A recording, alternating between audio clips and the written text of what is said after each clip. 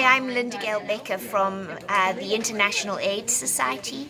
I'm the president, and I want to tell you we're here in AIDS 2018 today. We're building bridges and we're breaking barriers, and in particular, those bridges are reaching those individuals who could be left behind. They're people who are men who have sex with men, people who use and inject drugs, people who sell sex, people who are refugees and migrants. We really want to reach them. We also want to reach young people. And of course, we're hoping to bridge the divide to a broader global health agenda. So that's what we're doing here in AIDS 2018 Amsterdam. Thanks for having us.